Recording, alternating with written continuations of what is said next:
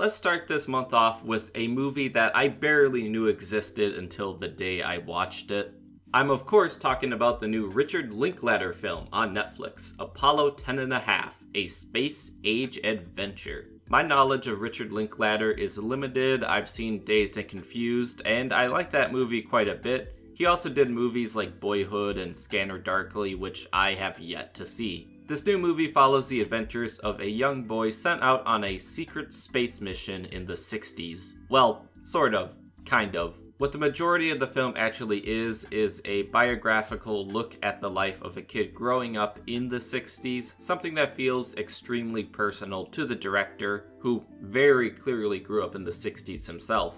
The movie is animated via rotoscoping, much like Scanner Darkly. It's a decision that I'm not sure was entirely necessary, but also something I don't mind, as it gives it a much more unique style. And I'm afraid to say that if it wasn't animated, I may have just missed out on the movie entirely. The film itself is pretty laid back. It's much more a fascinating look at history than anything else. Most of it focuses on the space race, which, as you probably imagine, was a big deal at the time. But it doesn't just focus on politics or world events, the film also occasionally talks about the various media the main character consumed, whether it be music, film, or TV.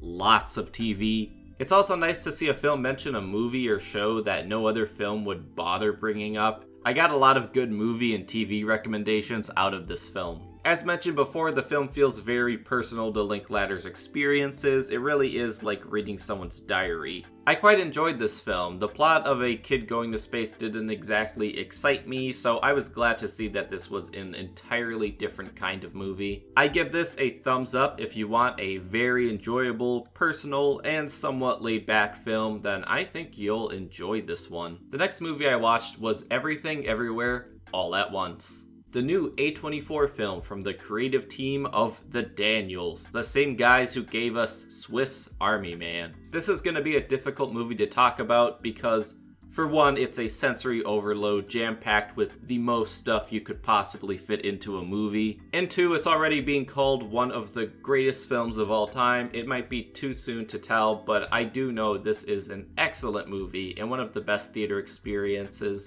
I've had in years. Multiverses seem to have become the new trend in Hollywood, mainly with comic book movies, but this is perhaps the most creative use of the concept I've ever seen. Spider Verse being Spider Verse comes close though. The movie is for the most part an absurdist comedy that manages to be hilarious, but is also extremely heartfelt and just overall a beautiful experience where the drama aspects blend in well with the comedy. The entire cast is great, and just saying that feels like an insane understatement. I think we're all in agreement that Ke Huy Quan was the biggest surprise. To my understanding, he quit acting after the 80s, and he brings such a fun energy here and is given a good chance to show off his range as an actor. The creativity in this film is endless. I kept wondering just how much time and effort went into the creation of it. It is definitely one of those films I would love to learn more about the making of. The purpose of a theater is to watch films that make us laugh, cry, or just to have an overall good time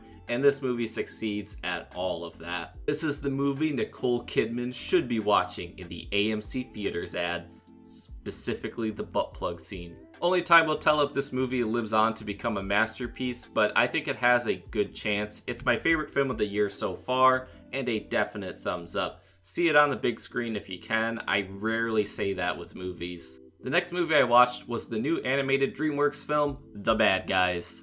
This film is based on a series of children's books that I have never read. The first thing I will say about this movie is that it looks beautiful. Love the combination of 2D and 3D that's become more prevalent in recent years. It looks super nice. There's great character designs, and the Lupin the Third influence is clear as day, borderline plagiarism. But if it gets more people to watch Lupin, then that's cool. Obviously, furries go nuts over this, specifically Mr. Wolf, but with some other characters as well. And as I said, the characters really were the highlight of the film. The biggest hindrance here is that this movie is very aware it's a kids movie, which isn't a bad thing. I mean, there's lots of great animated kids movies, but the plot just plays it so safe.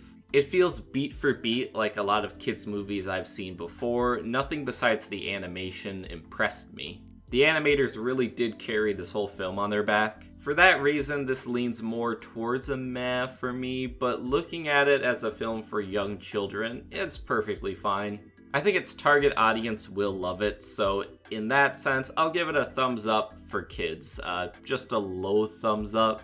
The thumbs up system is stupid and doesn't mean anything, okay? Up next, we have the new Robert Eggers movie, The Northman. This one's about Vikings. This is also the reason the video's kinda late. That, and I'm working on like three other videos at the moment that are all very long. So this is a movie I keep seeing described as epic, savage, and ferocious.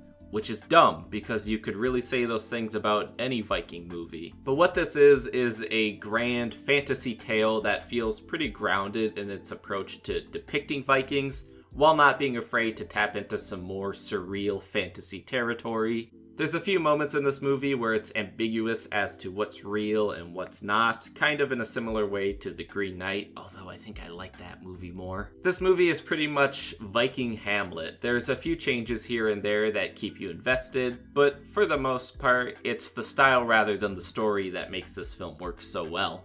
Robert Eggers has only done horror in the past, so it's nice to see him step outside of that. I like that he's stuck to period piece movies and seems to plan to continue doing that in the future. The actors all do a terrific job here, the film looks beautiful, there's plenty of scenes with a dreamlike essence that made this the perfect movie to watch late at night. Do I like this movie as much as The Witch or The Lighthouse? No, but I think only time will tell if that changes. I recall liking The Lighthouse a lot more on a rewatch. But I was overall extremely satisfied with this film. I think if you're either a history buff or someone who enjoyed Robert Eggers' other films, you'll get a lot of enjoyment out of it. I give this one a thumbs up.